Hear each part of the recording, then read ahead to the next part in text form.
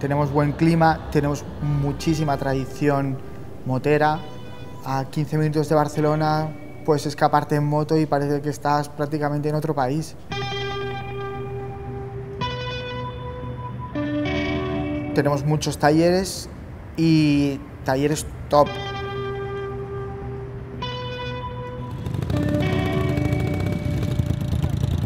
Mm, Puedo empezar mm, soldando un chasis y acabar eh, dibujando cosas o... Ca- cada proyecto es completamente diferente. Mm, Lo que hago es, por así decirlo, esculpir sobre la moto.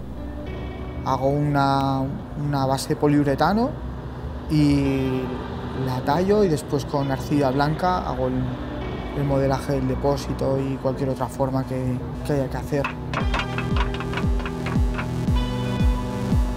Pertenezco a una generación que estamos en un punto medio que no sabemos si vamos, si venimos, no somos de la generación que vivieron en los 80 de manera desenfrenada, ni crecimos con la tecnología de ahora.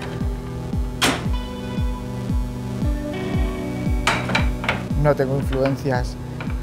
Cojo lo que quiero de, de cualquier estilo. Mezclo. mm, no soy un purista haciendo motos clásicas, ni hago motos excesivamente radicales. La moto es algo tan personal que para cada persona puede significar algo completamente diferente. Cada uno tiene su concepto y yo lo, lo respeto. Crecí rodeado de motos, mis hermanos tenían bultacos, tenían osas, mis primos tenían montesas. Era una época en la que ibas en moto sin casco, podíamos ir en moto, en bicicleta por la calle sin, sin miedo y desde entonces crecí con olor a gasolina.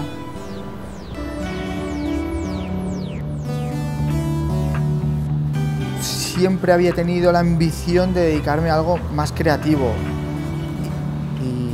era algo que yo estaba incubando. Adoc como tal nació de mí y yo soy, digamos, el hombre orquesta.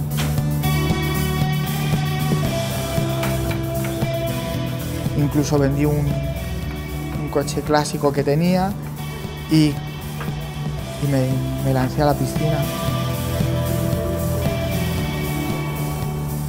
Junio del 2010 eh, fui a casa de mi hermano a recoger la primera moto y me la llevé un atraco a mano armada, aunque bueno, mi hermano dice que él es socio fundador porque como me dio la primera moto. Entonces yo calculo que el 2011 fue, digamos, el año del, del lanzamiento, claro, o del asentamiento espiritual mío, llámalo X.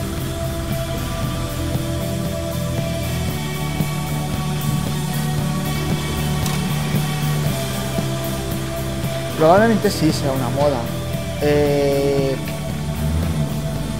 customizar motos sin ponerle etiquetas se ha hecho toda la vida.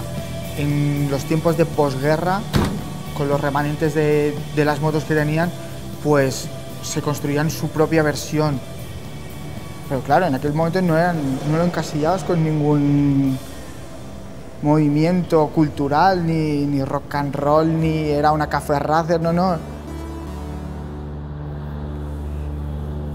Que me gusten, podría decir que me gustan todas.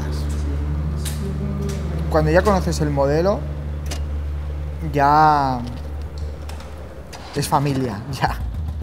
Entonces, ya te digo, Ducati, BMW, Yamaha. ¿Con qué motos no trabajaría nunca? No, lo sé.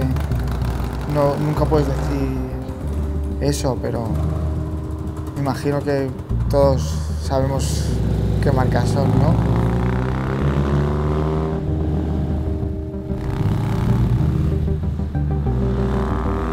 Creo que todo es mejorable. Todo es mejorable. Es obvio que ha- hay marcas de prestigio que siempre lo serán y siempre tendrán un modelo o dos en su gama que, que se convertirán en un clásico moderno. Mm, Me cuesta creer que en algo no se pueda mejorar. Pero motos que me enamoran de serie como son la Suzuki Katana, la Ducati GT1000, Sport Classic, este tipo de motos yo no tocaría mucho más.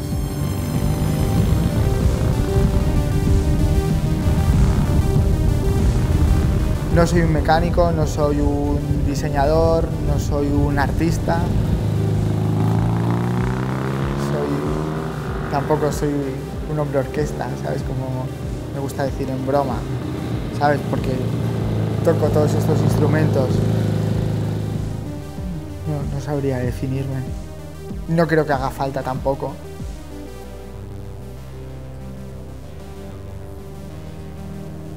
Yo siempre digo que mi taller es un, es work in progress, continuo. Y siempre procuro ir a más.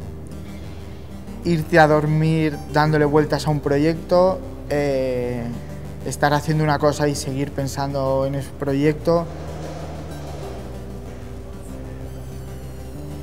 A veces lo pienso y a veces no lo pienso. Eh,